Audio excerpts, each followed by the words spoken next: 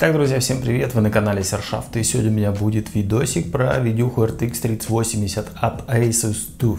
Версия идет разогнан 0.10 OS.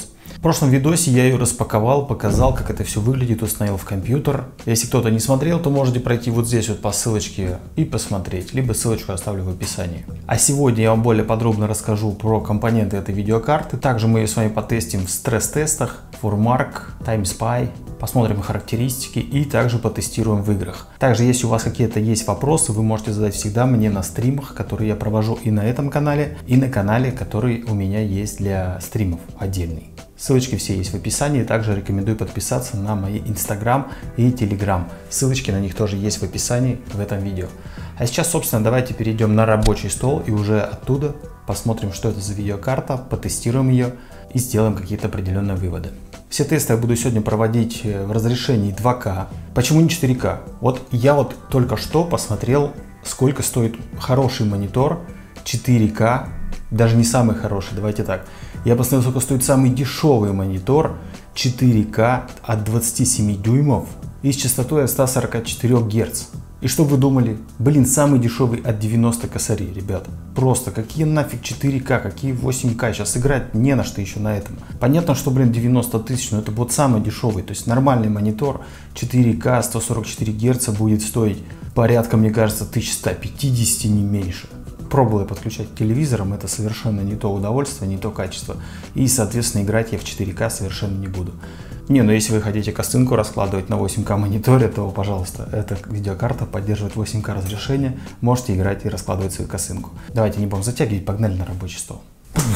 Итак, друзья, вот мы уже в принципе на рабочем столе. Здесь вы можете посмотреть показатели программки Tech Power Up GPU Z. NVIDIA GeForce RTX 3080. GPU чип стоит GA102, 8 нанометров. У меня сейчас стоит э, версия BIOS вот такая, так что не удивляйтесь, я чуть попозже расскажу и для чего нужно именно обновлять этот BIOS. Соответственно, можете поставить на паузу и посмотреть более детальные характеристики видеокарты, но мы еще к ним будем возвращаться. Память стоит здесь GDDR6X Micron. На вкладке сенсоры мы можем все отмониторить, посмотреть, посмотреть потом, какие частоты были максимальные. И думаю, что за этот видос мы еще не раз сюда будем прибегать. Дальше мы с вами протестируем игры World of Tanks, Fortnite, PUBG, Counter-Strike и GTA 5. Я думаю, что вот этих, в принципе, пяти игр будет достаточно для понимания того, какая это видюха. И также вы можете посмотреть по ссылочкам в описании, либо у меня поискав на канале видосы, которые я тестировал с видюхой 2070 Super от Polit. И можете просто сравнить, насколько это больше или меньше. Я сейчас попробую также запустить ForMark и 3D Mark именно с захватом экрана. Я думаю, что разница будет не особо большая, но если она будет больше намного, то я приложу скринчики, как это все работает без захвата экрана. Давайте непосредственно посмотрим про мониторы, которые я вам рассказывал. Непосредственно вот я зашел на сайт и посмотрел, что самый дешевый монитор сейчас 27 дюймов 4К, 144 Гц. Это у нас LG с поддержкой G-Sync стоит 89 тысяч рублей, ребят. То есть это самый дешевый монитор 4К. Если у вас есть 90 тысяч, соточка лишняя, то не вопрос, можете в 4К покатать но 144 Гц во многих играх, шутерные типа PUBG, Fortnite, у вас не будет 144 Гц, так что вот опять же момент, а нафига тогда 4К? И какой это гейминг, если нет таких герцовок, да? Тот же монитор от Asus уже там на 43 дюйма, что-то посерьезнее стоит вообще 150 косарей. Просто офигеть. Дальше, соответственно, переходим на официальный сайт Asus и смотрим характеристики видеокарты. Особенно сильно углубляться в них не буду, все, кто хочет, могут спокойно зайти на этот же сайт и лично посмотреть все характеристики. У меня стоит вот такая вот видюха TUF RTX 3080 010G Gaming.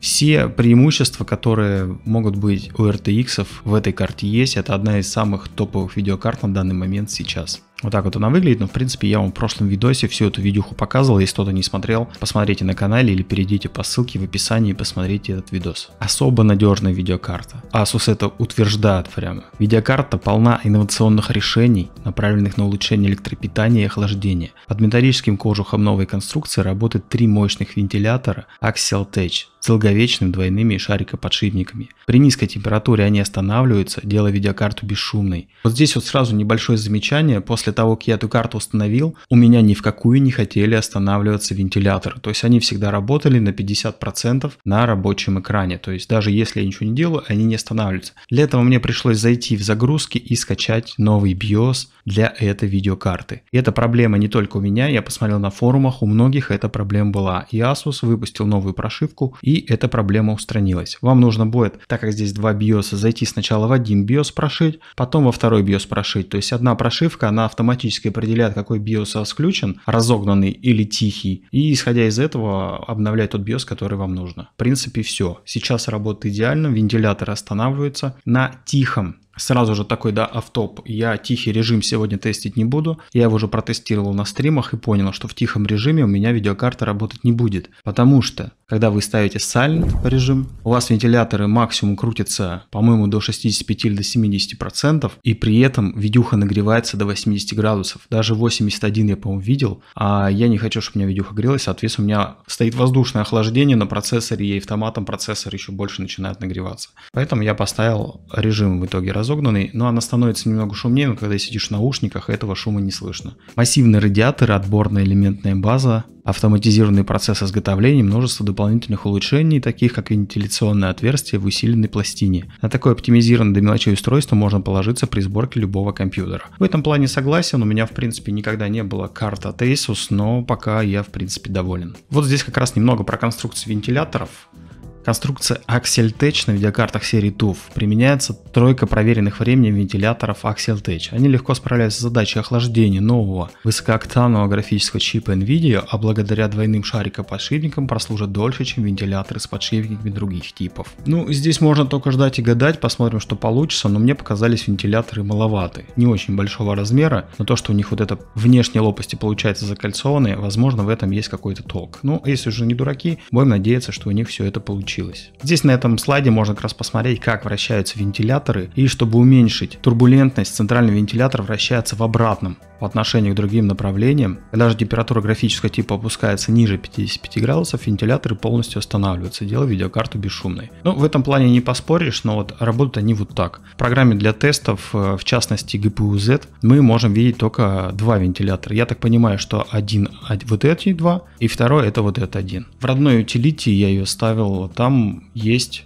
вентиляторы вот обозначенные вот эти и вот этот. Но я его поставил и сразу же удалил, поэтому особо толка нет. Попробовал поразгонять. А разогнанная видеокарта и не разогнанная. В TimeSpy там буквально там 100 очков, и поэтому, ну я не знаю, есть ли смысл гнать. Посмотрим. На будущее уже будем пробовать что-то разгонять. Изначально пока сейчас для моих целей хватает и в таком состоянии. Хотя, опять же, забегу вперед, видеокарта сама разгоняется до 1930 с лишним мегагерц. Радиатор. Технология Max Contact Contact. Блин, такие все названия скоро будут, ну просто, Apple просто курит в сторонке. Тепло от компонентов видеокарты переходит в радиатор, чтобы затем быть рассеянный мощными вентиляторами Axial Tech. Благодаря специальной производственной технологии Max Contact, помогающей получить максимально гладкую поверхность на микроскопическом уровне, контактная поверхность радиатора является безупречно ровной, что способствует улучшенному отводу тепла от графического процессора. Если в двух словах, максимально отполированная поверхность для более лучшего отвода тепла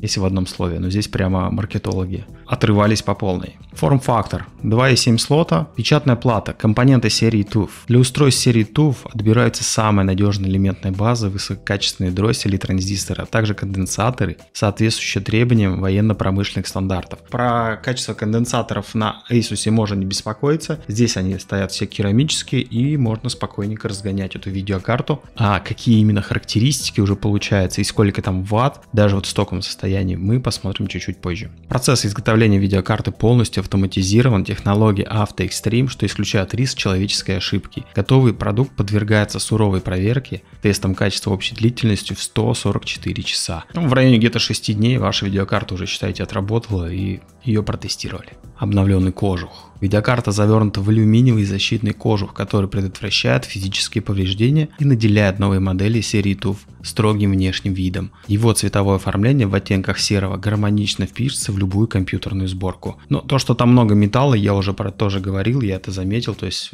ну, видеокарта довольно-таки тяжелая, но не настолько, чтобы ставить под нее подпорки. Тоже поимейте в виду это. Я просмотрел, многие пишут, надо обязательно ставить подпорку. Не нужна здесь подпорка, она не такая тяжелая, как бы это казалось. И она собрана, знаете, как вот хорошая иномарка немецкая, она такая вся прям вот собранная, такая вот сбитенькая. Очень круто. Здесь он, видно, подсветочку переливается. Сейчас мы до нее дойдем. На обратной стороне видеокарты можно заметить множество улучшений по сравнению с ее предшественницами. Большая ее часть закрыта защитной металлической пластиной с широкими вентиляционными отверстиями, которые служат для того, чтобы горячий воздух не возвращался к кулеру видеокарты, выбрасывался наружу выхлопными корпусными вентиляторами. Под самим графическим чипом располагается усилительная пластина, предотвращающая деформацию печатной платы. Монтажная планка устройства выполнена из нержавеющей стали, это вот эта вот часть. Также можно заметить удобно расположенный переключатель двух профилей BIOS, с помощью которого выбирается режим работы видеокарты без использования какого-либо программного обеспечения. На самом деле, да, переключатель стоит вот прямо вот, вот здесь, то есть вы видеокарту поставили, просто крышку боковую сняли, вот здесь переключатель, и спокойненько все это переводите то здесь тоже никаких проблем нет. Передняя часть, здесь вот есть вот такая вот подсветочка, я в принципе тоже уже на видеокарте вам показывал, но особой необходимости, допустим, мне ее регулировать нет, и не такая уж она большая, чтобы ее синхронизировать еще с чем-то. Ну, синхронизируйте вы ее, допустим, с картой Asus. Ну, будет она в тон моргать. Если у вас стоит комп на столе, то, наверное, это будет актуально. Для меня это не актуально, поэтому я даже пункты буду пропускать. И здесь можно посмотреть, как они работают, пульсация, стробирование, вот такой вот а, радуга, циклы, ну и так далее. То есть зайдите, ребят, просто на сайт и посмотрите, как это все работает. То есть, в принципе, вот вся индикация, вот она вот здесь. Все. Такая полосочка и такой вот логотипчик. Здесь приложение, то есть вы можете скачать вот эту программу GTWIG и через нее спокойненько можете и разгонять, и управлять, и делать все, что хочется, и программировать несколько режимов заранее, то есть это у вас будет тихий режим или это режим для игр агрессивный и так далее. Программу можете скачать, набрав вот это вот в, в поисковике. Микроархитектура NVIDIA Ampere. Про нее, я думаю, уже рассказывать нечего, очень много уже обзоров, и также можете почитать все это дело. Просто новая пушка, стоит менять ваши видеокарты на эту видеокарту. Если у вас стоит 2080 Ti, то ее еще время не прошло и смысла менять нет. Тем более сейчас видеокарты стоят немало. И если бы у меня была 2080 Ti, то я бы менять бы на 3080 бы точно бы не стал. В принципе, вся информация. Дополнить здесь особо нечего. Карта крутая, можно еще заглянуть в характеристики, посмотреть. PCI 4.0 Express, но я вставляю в обычный PCI 3, и все работает отлично, нареканий никаких нет. Память 10 гигов, разгонный режим 1815 Гц, но по факту в бусте получается больше 1900. Хотелось бы добавить еще по выходам, Здесь стоит два HDMI версии 2.1 и 3 DisplayPort версии 1.4a. Но при всем при этом, что разъема хотя бы 5 получается, но максимальное подключение мониторов вы можете всего сделать 4. И везде во многих описаниях я тоже читал, что нужен непосредственно блок питания на 750 Вт минимальный, но Asus рекомендует все-таки блок питания на 850 Вт. То есть это официальный сайт и смысла не доверять этому сайту у меня нет. И еще здесь есть вот такая вот небольшая заметка. Все рекомендации по блокам питания основаны на энергопотреблении Intel Core i9 и AMD Ryzen 9. То есть если у вас процессоры стоят меньше, то вы можете смело ставить блоки меньше, то есть 750 Вт. Если у вас i9 работает без разгона, можно тоже спокойно ставить блок 750 Вт, и вам его будет точно хватать за глаза. Так, друзья, вот мы видим, вентиляторы вращаются со скоростью 0, то есть вообще не вращаются, то есть прошивочка все работает. Сейчас они, в принципе, поднимутся, потому что начал захват рабочего стола, и, соответственно, все должно начать работать. Ну вот, все, обороты включились, потребляемые ваты 112, сейчас, соответственно, все здесь уже заработало. Первый тест на сегодня будет Фурмарк, сначала его прогоню в разрешении 1080. Ну, 1080, я думаю, я не буду вообще отключать э, запись рабочего экрана, попробуем прямо с ним, погнали. Просто отличный FPS под 230, валит просто температура, я думаю, что выше там 65-66 градусов не поднимется и ждем, что будет. Частота, кстати, GPU 1665 всего лишь. Board Power 340 с чем-то было, я видел. То есть эту инфу можно посмотреть наверху. Сейчас заодно протестирую температуры, которые были и все остальное. То есть программочку я запустил, сенсоры должны работать. А в 1080 кто будет играть на 3080 видюхи, блин, ну я не знаю таких людей, и вряд ли они будут. Средний FPS 230, отлично. У нас получились вот такие вот результаты, 13785 очков, 230 FPS. 66 градусов была максимальная температура. Давайте посмотрим максимальные частоты. 1965 максимальная частота и питание меня больше интересует интересует еще. Максимальная 342,8. Сейчас я еще разочек прогоню то же самое, только без записи экрана и сравним результаты. Здесь нажимаем сброс, запомнили все цифры, 232 максимум. Все, выключаю запись экрана и пробую все то же самое, только без записи экрана. Итак, друзья, да, разница на самом деле есть, она очевидна и в принципе разница процентов получается больше 10 даже. Максимальный FPS 260 был и средний 258, это просто, блин, ну пушка. 66 прогрелось, 15480 очков, очень замечательно. По максимальным частотам 1935, 343 потребляем мощность видеокарты. Достойные результаты. Давайте попробуем еще запустить все-таки 1440. Делаю сброс. Давайте прямо с записью. И потом я без записи делаю также в конце включусь. Погнали. Да, здесь частоты уже поменьше. FPS 156. Средний. Максимальный FPS 158. Температура примерно та же, то есть особо разницы нет. Но FPS, конечно, да, просел на соточку. А соточка это почти 50% из-за 2К разрешения. Потребляем мощность 343,5 я сейчас видел. Давайте дождемся окончания теста и еще сейчас затещу без записи экрана. Здесь мы видим уже вот такие вот результаты. 2К разрешение, 67 градусов она прогревалась, здесь 66. Было 258 FPS, стало 155. Но вы понимаете, да? То есть, ну, проседает так очень даже хорошо. Вот эту я оставлю страничку здесь. И мы сейчас сделаем тест еще также в 2К, но я выключу запись экрана. Все, поехали. Так, собственно, ребят, результаты готовы. Для вас пролетела просто одна секунда. Для меня вот такая вот разница. Это у нас получается запись записью экрана. 9316 без записи экрана 10555. Разрешение одно и то же, температура одна и та же. По FPS Минимальное 154 было, стало 175. Максимальное 158 стало 178. То есть 20 FPS это практически 10%. Это прилично. То есть вот такая вот разница с записью экрана и без. То есть вы берете видю, видюху, если вы хотите стримить или записывать экраны, то есть 10-15% можете смело просто брать и выкидывать. Потому что видюха сожрет эти все показатели. Здесь, по-моему, ничего практически не поменялось. 1935 и 344,7 максимально жрала ну, то есть я понимаю, что 350 ватт берете с запасом, и это, в принципе, вполне достаточно будет. Сейчас я буду запускать тест 3D Mark. Вот это вот все сбрасываем. Запускаем тест 3D Mark. Но его, соответственно, уже запись экрана я делать не буду, потому что я уже понимаю, что здесь разница ну, существенная. То есть здесь 15%. Нам это нужно, чтобы было все четко. Поэтому отрубаюсь, запускаю и показываю вам уже готовый результат. Все, погнали тестить. Так, друзья, вот так вот все это дело записываю не могу не сделать подсъемчик и посмотрите, сколько здесь просто FPS. 120 FPS, это просто офигеть. Я помню, когда на 2070 здесь сделал эту запись, это было все вообще другие картины, другие характеристики, и это просто, блин, сказка какая-то. На этой сцене тоже обычно там где-то в районе 50 FPS в среднем у всех. Здесь где-то держится 76, 80, до 90 даже просто скачет. Вот сотка уже 112, 120. Это просто какая-то сказка, ребят. Я офигеваю на самом деле. Это не карта, это просто реально какая-то мощь. Так, друзья, собственно, вот такие вот результаты получились. На самом деле у меня здесь получалось даже немного больше. Это все на автомате. Давайте посмотрим по табличке, что у нас получалось. То есть максимальная частота процессора была 1950 в одном из тестов. Температура максимальная 68 градусов, больше мне ее поднять не получилось, то есть это достойно. Но если вы ставите в режим Silent, там где вентиляторы не разгоняются до такой скорости, то здесь вы получите 82, 80. Я уже прогонял. Здесь максимальная скорость оборотов 82%, максимальное энергопотребление при там спае 342 ватта. То есть вот на такие ватности вам нужно будет рассчитывать. И также непосредственно можно посмотреть максимальную температуру на процессоре. Но эта температура 92 градуса была в последнем тесте, там где идет тест уже непосредственно самого процессора. Так что не удивляйтесь, это нормальный показатель. Средний где-то 60 градусов за все время тестирования. Только в последнем тесте в пиках было непосредственно 92 градуса. Все, собственно, сбрасываем. Показатели 16067 общие, 17426 это непосредственно очки по видюхе и 11145 это по процессору.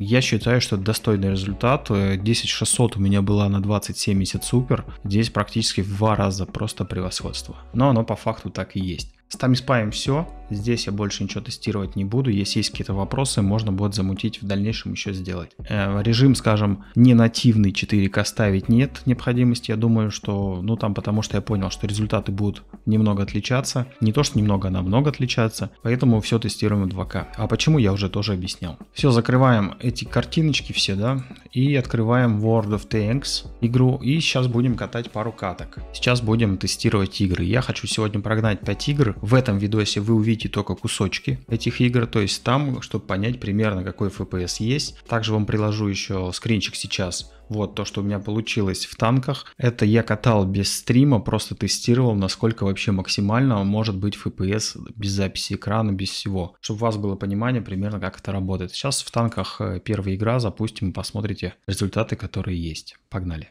Первая игрушка сегодня будет World of Tanks, и на загрузочной странице мы просто видим 500 FPS. Игра здесь полностью не будет, здесь, я напомню, будут только моменты, а полностью вы всю игру сможете вот этот именно геймплей посмотреть в отдельном видосе, я выложу и постараюсь сделать в описании ссылочки. Так, что мы видим здесь? У нас здесь получается 5 строк. Первая строчка это у нас GPU, непосредственно ее температура, загрузка GPU, здесь частота GPU. Здесь в процентах это потребляемая мощность, энергия. То есть я хотел в ваттах, но в этой программе почему-то в ваттах поставить нельзя. Так что, сори, примерно думайте, насколько она загружена. То есть 100, 101 там, или 110 процентов. Вот это можете смотреть здесь. Это у нас непосредственно загрузка памяти видюхи. Здесь процессор, температура процессора, загрузка процессора, частота процессора и сколько процессор потребляет ватт. Здесь в ваттах получилось сделать окей. Здесь сколько у нас потребляется оперативки и, соответственно, сам FPS. Все, погнали, пробуем боечек скататься и посмотреть, что из этого получится. А, стопы. Не показал вам еще настройки. Настройки все стоят на ультрах. Сейчас выйдет на главную страничку. А, и посмотрим еще настройки. То есть заходим в графику. Здесь вертикалку отключил. Монитор 1440 это нативное разрешение. Улучшенная графика, все на ультрах полностью. Все выкручено. А, кстати, на тестах, как у меня запрограммировано, я не знаю, в прошлый раз тестировал 27 супер, у меня та же карта была. Но это какое-то издевательство, наверное. На геймплей здесь упор не делаем, делаем упор на то, чтобы просто затестировать. Ну давайте, как тогда ездил на светляке, туда же поехали, туда же в ту же сторону. Хотя нет, мне вот это не интересно, я, наверное, поеду лучше налево. Все равно так понимаю, что сливаться будем. Соответственно, я отсюда сейчас буду вырезать какие-то моменты, смотрите FPS, думаю, минутки, может, две. Ну, где-то примерно на стриме также по 200 FPS держится. Но это все на ультрах. На 2070 Super на карте у меня было примерно где-то 120 FPS, если я все выкручивал на ультра.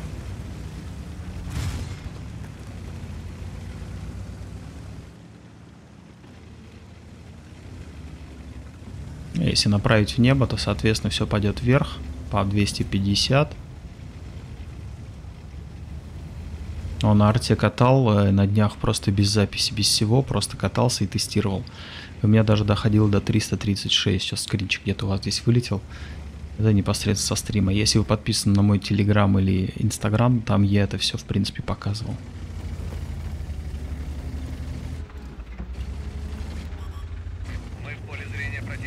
Так нельзя делать. Так делать нельзя, но наша задача не сильно долго здесь тусить. Ну, я типа как бы наигрался. То есть вот, понимаете, да, 200, 213, 214, дизели не поменьше. Проходим, кустики все шевелятся, графика просто четкая, просто офигенная. Мне это очень нравится. Именно то, что я хотел. Все, для тестов этого достаточно, а полный геймплей я выложу отдельно, отдельным видосом. Вот здесь может даже, скорее всего, какая-нибудь победа будет. Плохо, когда в начале боя теряешь все хп, блин.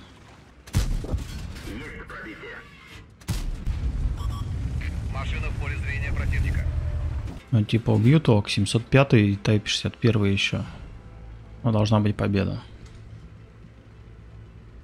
Здесь вообще по 250 FPS. Кому все-таки интересно геймплей, забегайте. На стримы, я провожу стримы и на этом канале, и на Sershaf 77 Games. Такой, собственно, боечек получился, 272, скажем, не ради скилла, но все-таки успел два фрага, вначале очень много получил, но очень интересно захватывающие бои. Все, я думаю, вы видели, как это все проходило. какая температура была и на процессоре, и на видюхе. Но я вам могу сказать, что в принципе у меня... Не знаю, хочу вырезать куски, не буду вырезать, наверное, ничего. Собственно, вот такой результат получился. Вы, наверное, заметили, что процессор у меня прогревался там до 70 с лишним градусов. Пока не было этой видеокарты, у меня процессор так не грелся. Как только я поставил эту видюху, процессор стал прогреваться больше. То есть вот эти все мифы о том, что когда ты стоит, у тебя стоит воздушное охлаждение, и под ним вот так вот видюха нагнетает свой горячий воздух, процессор реально начинает греться больше. Так что не забываем про это, и, наверное, впереди будет установка водяного охлаждения. Так что у кого какое водяное стоит, обязательно пишите в комментариях, советуйте, обязательно возьму и протестирую. Или кто-то хочет какое-то взять, тоже пишите, возможно, я его и возьму. Так, ребят, погнали. Следующая игрушка Fortnite. Также сделаю кусочек небольшой стрима, а целиком весь видос, вот это уже можно будет посмотреть отдельным видосом. Я его выложу на канале. Смотрим сначала настройки, то, что у меня стоит. Полный экранный режим я сделаю, 144 FPS. Дальше можно полистать, посмотреть. Настройки все максимальные, эпические. Вертикальная синхронизация отключена, счетчики кадров у нас включены, но непосредственно у нас стоит еще программа, которая будет замерять сегодня. Latency задержка включена, DLSS включен на производительность. Трассировка лучей включена, DirectX 12. Но почему-то, кстати, бета-версия еще. То есть, возможно, еще будет какая-то оптимизация и будет еще лучше. Опять же, я, в принципе, это все уже тестировал, и те, кто подписан на меня и здесь, в Инстаграме, все уже прекрасно видели, как это все играется. Так что не ленитесь, подписывайтесь, только вас на канале не хватает. У меня еще на канале проходит розыгрыш денег, так что не удивляйтесь и участвуйте. На 10 тысяч подписчиков я буду разыгрывать 1000 рублей, на 15 тысяч подписчиков полторы тысячи и так далее.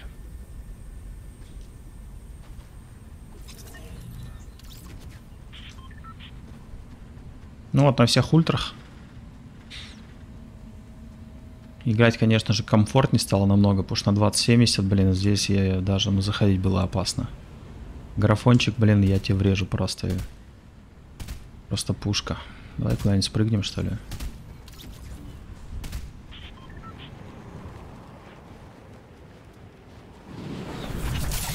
Полетаем.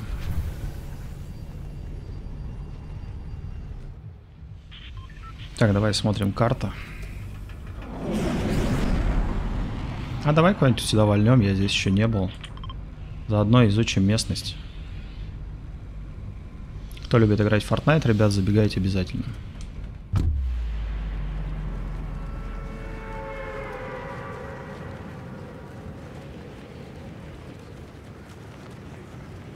Температура видеохи 66 градусов, процессор до 77 пока скачет.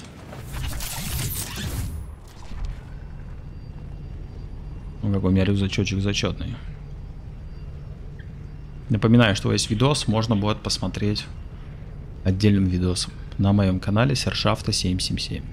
Сейчас, может, у меня быстро, кстати, убьют, у нас все быстро закончится.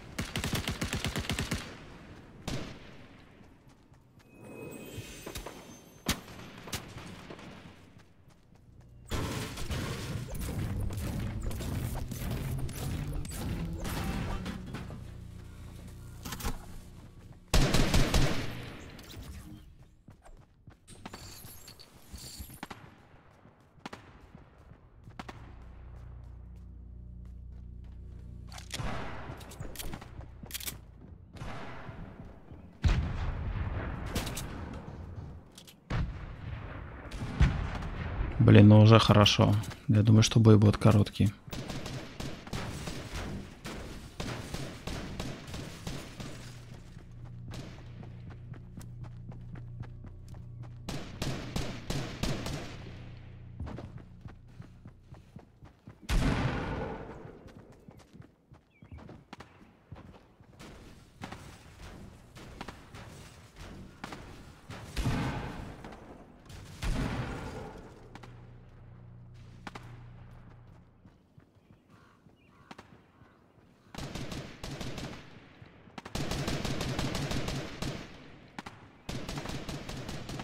Ну, FPS где-то получается на соточку 120.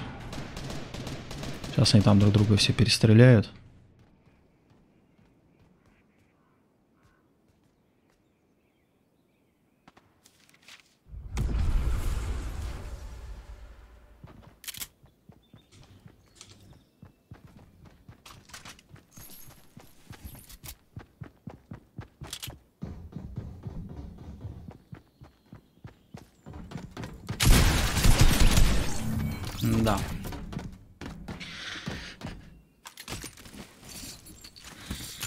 Давайте сразу же еще одну каточку закатим. Ну, это фигня какая-то. Я вообще ничего не успел сделать, ничего не успели потестить.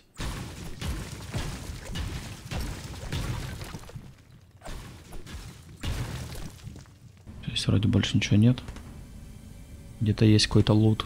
Я его слышу.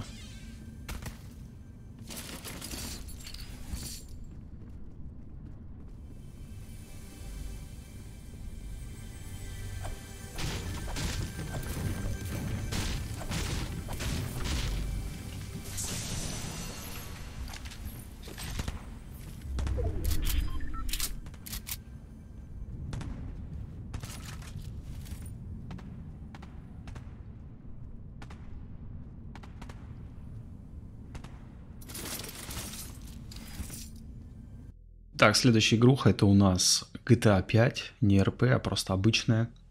Я в нее как-то пытался уже заходить играть, но, блин, там очень все тупило на 27 супер, поэтому я даже не рискнул. Давайте посмотрим по настройкам, что здесь. Ну, здесь получается 11 только можно. 2500, разрешение, формат 16 на 9, частота обновления 144.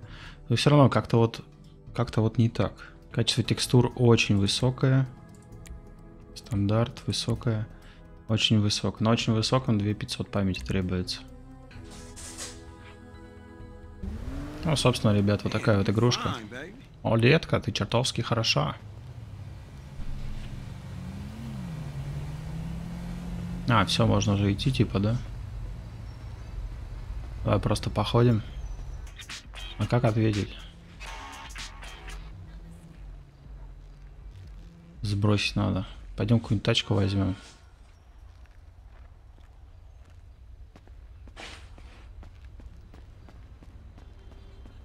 Ну вот примерно, чтобы было понимание, 145 FPS. Я не знаю, как здесь принимать, я еще не разбирался в этом телефоне, блин, и поэтому не суть.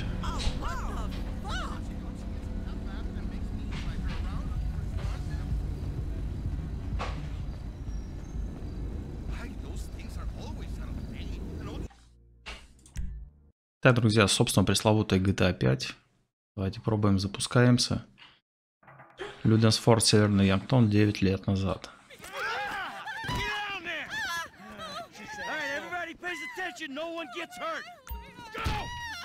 Это самое начало, в принципе. У меня даже на 27 супер здесь ну, много чего висело, тупило.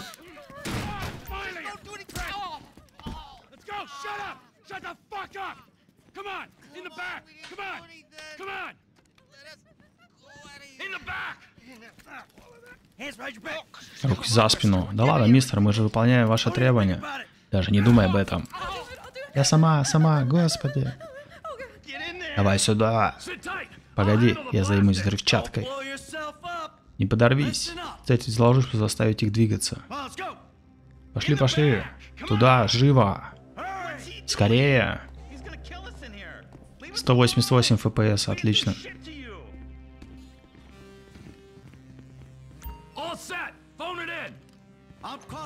Нажмите, чтобы доставать телефон. Окей. Зовите заряд с помощью с телефона. А, нажмите открыть список контактов. Enter. Подорвать. Ебой. У, нормально так. Блин, вот эта игра, конечно, я в нее ни разу не играл. Сто раз начинал. Так, ну что, действуем? Вот и денежки. Спокойно, ты спокойно. Ну, куда-то сюда, я так понимаю. А где деньги-то? А, вот эти. We're just taking the non-sequential notes. Окей. Не, ну управление надо, конечно, все это дело разбираться. Но 190 FPS на 2К на ультрах. По-моему, офигенно.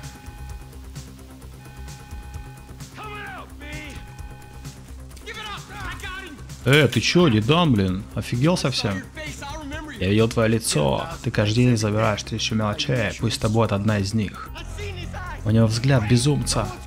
Нет, Ники, псих, обдумай, не горячись. Вот именно, дружище, я долбанный псих. Ой, мама. Слушай, ты жить хочешь? Ну скажи, что хочешь. Мы все уладим. Конечно хочу. Скажи ему, что убрал пушку. Так не пойдет. Ход за тобой. Я не спешу. Дружища. Ну что делать надо? Ты что должен делать, что ли? А, чтобы увидеть список доступных игровых, удерживайте левый альт.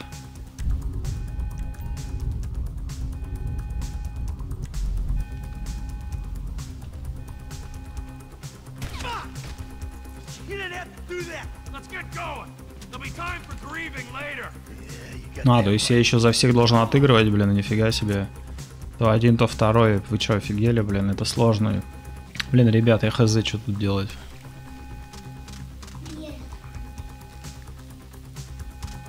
А, вот так. Ку. Хоть бы какую-то подсказку ввели. О, ничего себе. Ништяк.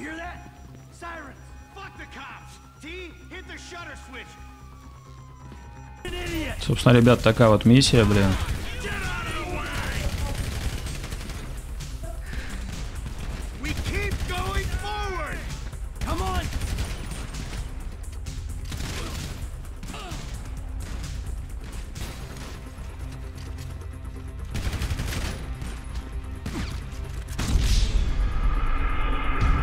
Все, ебай. Задание не выполнено. Вы погибли. Собственно, как FPS работает, как что есть, вы, я думаю, что поняли.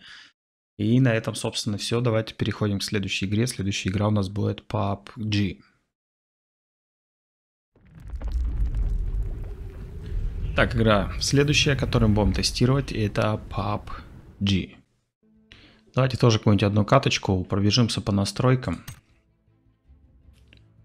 Настройки 2560, ограничение FPS лобби 60. Здесь у нас э, без рамок. Можно полный экран даже поставить. Давай лучше полный экран сделаем. Так, ограничение частоты монитора, пользовательское, без ограничений. Такие, собственно, настройки. Все на ультрах. Листва, тени. Здесь все вот так вот. Ну, в принципе, мы на лобби. Ну, даже 160, 180, до 200 бывает вот доходит. В ту сторону поворачивается почему-то меньше, в эту сторону больше. Странная фигня. Ждем начала матча. Так, давай куда мы опустимся. Я думаю, что не будем сильно много тянуть. Наша задача, блин... О, нифига, если на карте вообще 300 фпс. -а. Куда-нибудь сюда, может. Или Горовка. Давай в Горовку.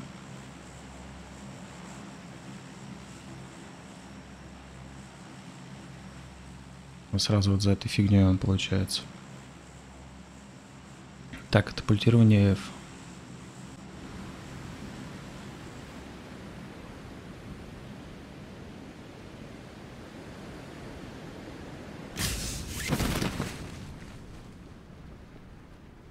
Я хочу туда долететь.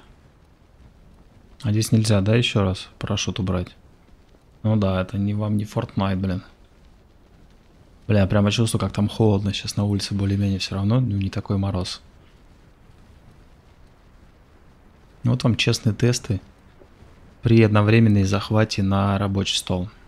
Ну, или рабочего стола, кому как угодно. То есть при стриме, я думаю, что должны быть примерно такие же характеристики полете вроде даже FPS было меньше. Не, ну играть комфортно.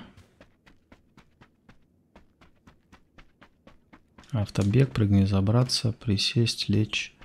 Свободный обзор, переключение камер. А, можно от первого лица вообще даже играть, ничего себе.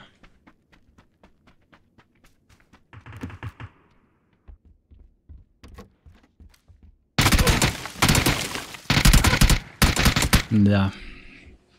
Лихо. Окей, давайте запустим еще одну катку. Здесь было что-то непонятное. Я буквально где-то второй раз захожу, но FPS в принципе отличный. Процессор что-то сильно греется у нас, да? Эта игра более требовательна к процессору получается, что ли, фиг знает, как это работает. Подключать, подгонять столько количества кадров. Процессору тоже надо. И видюха работает на частоте 1875. Все, автобус. Автобус, самолет. Я фиг знает даже куда падать, тут не знаю, никаких домов не видно. Ну давай, наверное, вот сюда, вот в эту деревушку блюхнемся. Нифига, почти 200 км в час. 170 км в час падаем. Это вот эта девочка ходненькая. Я представляю, если бы я падал, блин, я бы, наверное, все бы 250 летел. В глазах, наверное, будет твориться вообще хз чего, блин. Так, 200 метров. Ну, в принципе, что я вам скажу, это сейчас я, блин, катаю, в принципе, вот так вот без ограничений. В принципе, 144 FPS мне хватит. И эта видюха может мне это дать. Это хорошо.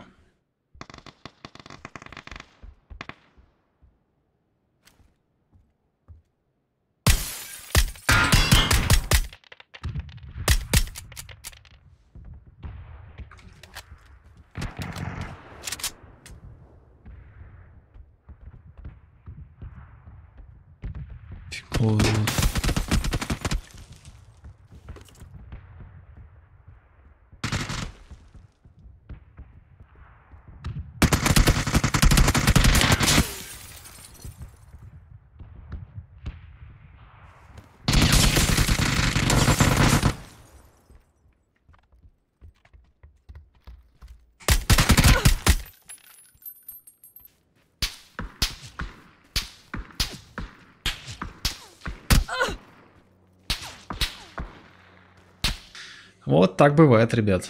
Все, ну для теста, в принципе, хватит. И в дальнейшем, не знаю, буду стараться что-то еще больше разбираться в этой игре. Надо, надо просто играть, ребята, и тогда вы будете играть очень хорошо. А не как я сейчас это сыграл.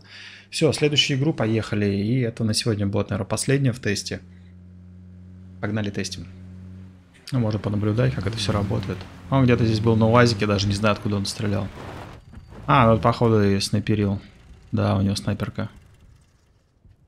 А там нет ни хера, что ты там шаришься. Все, погнали следующий тест. Так, друзья, следующая игра, и сегодня она будет последняя, это Counter-Strike. Тоже просили. Делаем 2560 в полноэкранном режиме. Давайте на весь экран сделаем. Энергосберегающий режим выключен. Очень высоко. Ну, в принципе, на автомате мне все поставило, все на ультра-пупер-мупер. Погнали. Так, здесь мне надо, я не знаю, куда. Обычный бой. Обычный. Группа Сигма начать. Чисто хочется посмотреть, сколько будет FPS.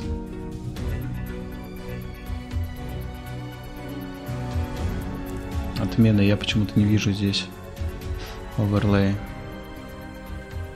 Может, конечно, он запустится. Давай пробуем.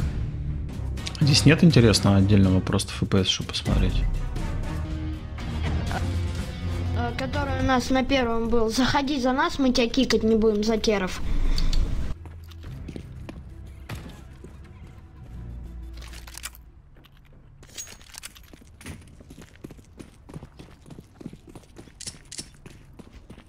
Ну чё, пацаны, будем тащить? Так, заходи за нас, мы тебя кикать не будем.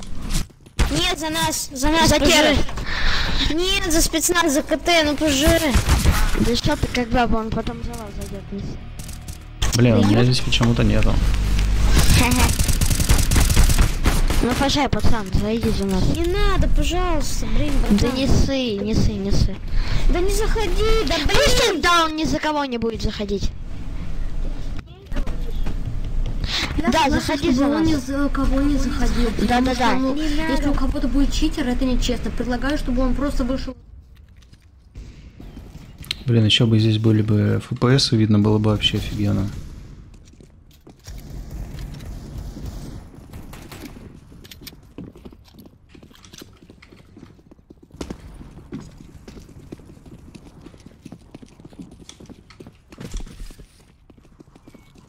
Не, ну графон, конечно, прикольный.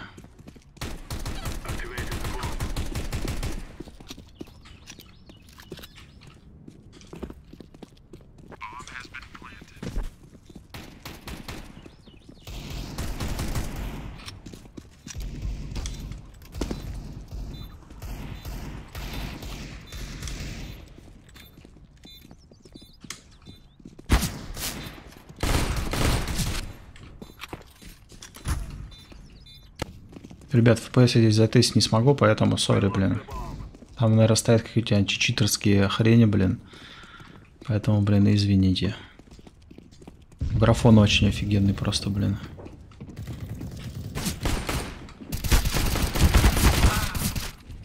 А здесь есть, интересно, встроенный какой-то оверлей, блин. FPS контроллер.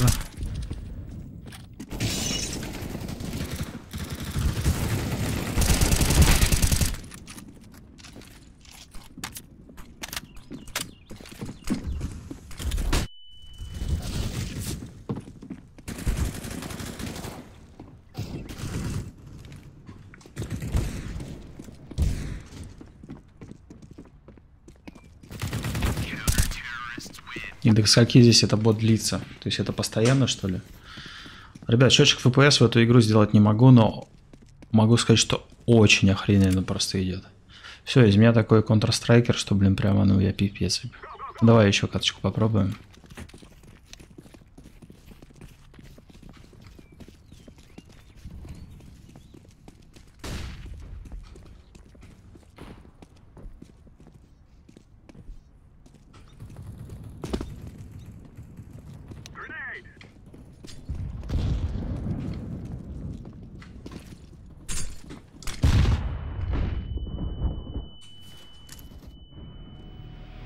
Не, эта игра точно не моя, так что сори. Можно даже ее было и не включать нифига в обзор. Итак, друзья, на этом у меня сегодня все. Я думаю, что мои тесты были многим полезны. Многие уже поняли, что это за видюха. Видюха очень крутая. Очень прямо... И хочется играть все больше и больше. Все хочется устанавливать больше новых игр. И думаю, что все-таки это было полезно именно. Именно полезно. Потому что не у всех сейчас есть, и многие будут думать, надо или не надо. Также в описании постараюсь оставить ссылочку, или вот здесь где-то буковка И выходит на видеоху на тест 2070 Super. Несколько геймплеев я также выложу просто отдельными видосами, чтобы вы просто посмотрели, как это все проходит, как это все играется, какой FPS, как греется видюха. Я могу сказать, что меня видюха устраивает прямо вот ну не на все 100%, процентов 90 в ней, наверное, все-таки есть кайфу. А остальное это все уже как бы мелочи. Конечно, лучше брать 3090, это уже будет и с запасом, и для 4К, для, это уж 100% для 4К подойдет. Эта видюха, ну пока, скажем, для 4К 144 FPS не готова во многих играх, этого будет просто не хватать.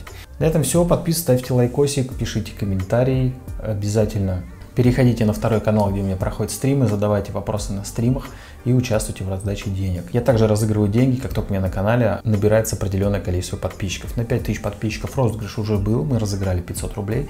Следующий розыгрыш будет на 10 тысяч подписчиков, потом на 15 и так далее. Каждый раз я буду добавлять пятихатку. То есть ближайший розыгрыш будет на 1000 рублей. Так что подписывайтесь и ставьте лайкс. Все, жду ваших комментариев. Всем пока. Чао.